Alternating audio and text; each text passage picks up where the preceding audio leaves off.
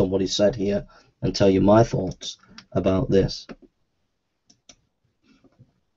Basically, what he's saying, um, you've got all these esoteric modern scholars of his day saying that we've got to get under the Gospels, and what the church is telling us is not true. The Gospels are of later antiquity, that a later date. They're not actually uh, decent historical source material. They don't go to the first century. They're probably all second century documents. These are the kind of ideas that were being spouted at the time of Tischendorf. What Tischendorf does is just go to the historical documents. He goes to the historical information, things that scholars already knew but just overlooked and didn't give them the weight that they deserved. So he goes to Irenaeus, uh, ancient apostolic father, and he notices in uh, Irenaeus' writing that he's quoting the four Gospels and that he says the four Gospels are like the four corners of the earth. And what he's saying is, look, this is just really good historical information that we're getting here, and we're just pushing it aside. And if we listen to this historical information, it's telling us the Gospels were not first century, but second century. Not only second century, but written by the people that we believe they were written by.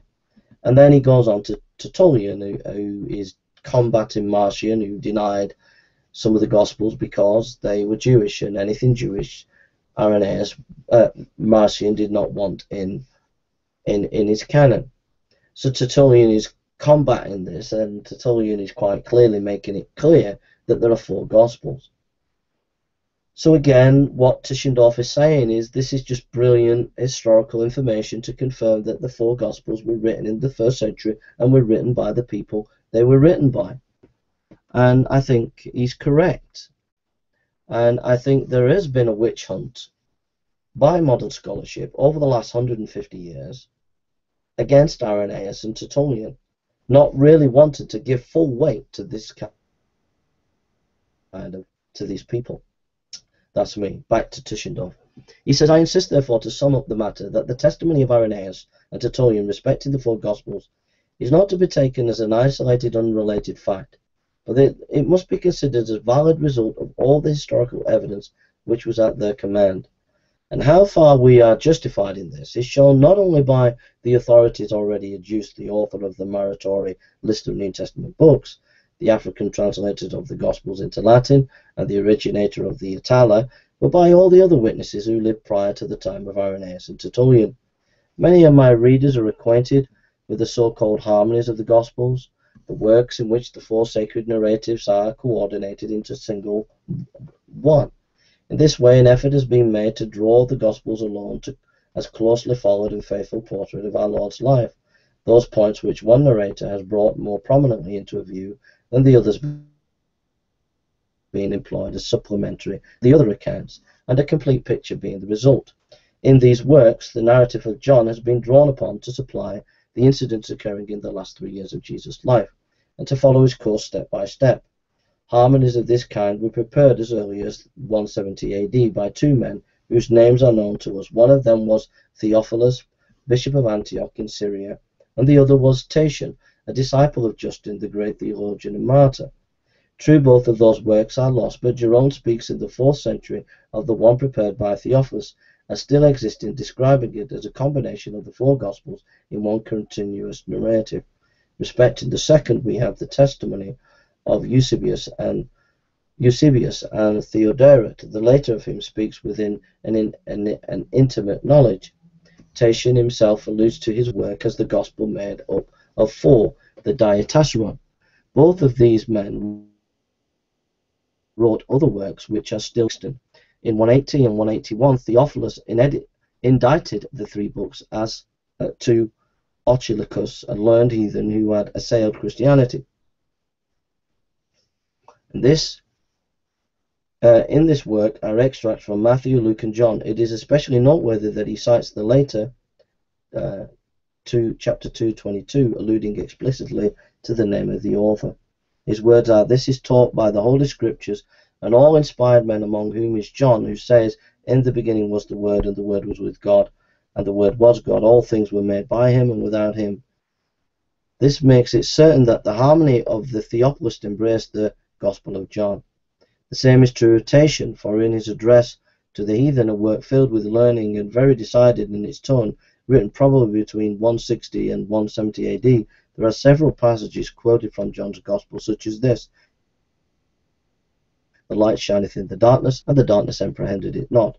The light was the light of men, and all things were made by him. From this it would seem certain that his harmony, like that of Theophilus, although it may have taken some liberties with the order of the narrative, included the Gospel of John, and this chimes admirably with the statement of Bishop Bar Salibi that the diatessaron of Tatian, accompanied by a commentary by Ephraim and thus discriminated from the diatessaron of Ammonius, began with the words in the beginning was the Word.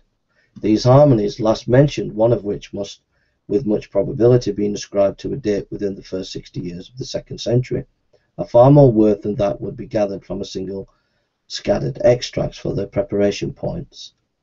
Back conclusively to time when the four Gospels were already accepted as a perfect record, and when the necessity had begun to be felt of deducing a higher unity and a more harmonious completeness from them than the diversity of various books, and the apparent discrepancies had rendered apparent. If these efforts are to be assigned to a date as early as the second decade, excuse me, Subsequently to the middle of the second century, it makes the inference a necessary one that the use of the recognition of the four Gospels must be assigned to a much earlier date. Totally agree. So basically, saying there that there were these gospel harmonies right from around about 160 AD. That's basically what he's saying. And these various gospel harmonies that were based on four Gospels, which shows again that they were already authoritative, and that pushes the date of the Gospels back into the first century and to the authorship of those Gospels. So that's basically what he's arguing for there. He goes on, similar testimony we owe to the contemporary of the two men just named Claudius uh, Apollinaris, Bishop of Hierapolis and Phrygia, whose epoch is assigned by Eusebius, uh, 426, to the reign of Marcus Aurelius. For in a fragment preserved in the Chronicon Pasch Paschal, he declares that if the Quadrisimenians, so called from holding like the Jews that the 14th of Nisan was the day for celebrating the Paschal sacrifice, appealed justly to Matthew in support of the view that Jesus partook of the Last Supper with his disciples at the precise time of celebrating the Paschal offering. There must be an antagonism among, among the writers of the several Gospels. Now, as in this context, Matthew, Mark, and Luke must be ranged on the side, and John on the other. The words of Apollinaris indicate that all the Gospels were conceded in his death to have equal value. to this may be added that in one passage still extant in the same Chronicon there is undeniable reference to John's allusion in chapter 1934 to the piercing of Jesus' side. According to Eusebius, the choice of Dionysius as Bishop of Corinth occurred in the year 170 AD. The same historian has preserved for us Eusebius 423 some fragments of letters and other documents from the pen of Dionysius. To one church he sent in the epistolary form exposition of Scripture, and to the Romans he wrote after admidverting, uh, animadver, sorry, animadverting severely upon the efforts to discredit the genuineness of his own letters. That, was, that it was not all strange that men sought to discredit the gospel, since these two were documents whose value was so great that their authenticity should be indisputable. The expression Holy Scriptures might not necessarily refer to the New Testament, but the word which Dionysius employs writing respecting the law, the same term which Clement of Alexandria uses, Strom, page uh, 7, verse 1, has the same significant signification with the expression New Testament, and relates evidently to the books which were then accepted as constituting the New Testament canon the Apology written by Athenag, um, of Athens in the year 177 AD contains several quotations from Matthew and Luke. It displays also unmistakably marks of being influenced by John's Gospel. as for example in the passage which speaks of the Logos as the Word of God, and which alludes to the Son of God who is in the Father as the Father is in the Son. It contains the very expression found in the first